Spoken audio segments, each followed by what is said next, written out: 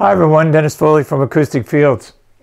We're going to continue on our Don't Do This uh, number three series today. And I really want you to look closely at, at this setup here in the photo because setting up your rig in the room is so critical. And remember, we've got those rules that we have to obey. So if this is our desk and these are our monitors, this distance to this sidewall and this distance to this sidewall have to be equal. No discussion. Okay? This distance here from the wall to the rig can vary, but we like to start with three to four feet. Okay? So you can see we're not set up that way in, in this photo here. Then what do we have? We have windows everywhere. And they're right at the primary reflection points. They're right at the middle of the front wall, which is a big no-no. So we got a lot of issues going on here. We got unequal distances. We got surface areas that are crazy bad for sound quality. And it's just not a good start. No amount of treatment type, position, or amount is going to correct this problem. So we have to set up correctly from the beginning. Now, the next step, and, and I see this a lot with all of you, is that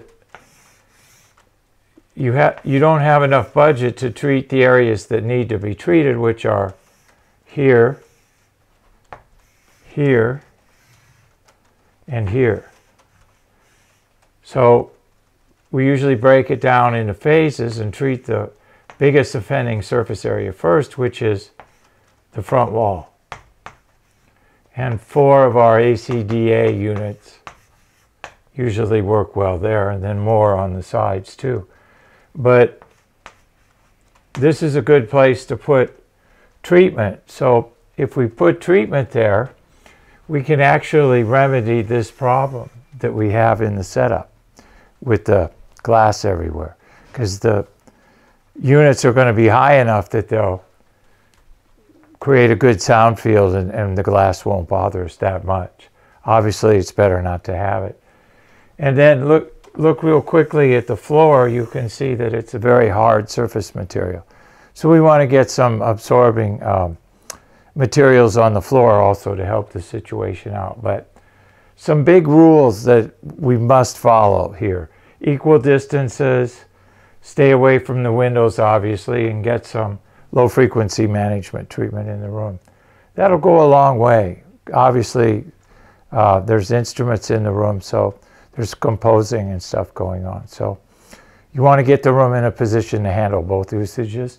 And you can do that with a variable acoustic format where you roll the units in place when you're mixing and roll them around the instruments when you're recording.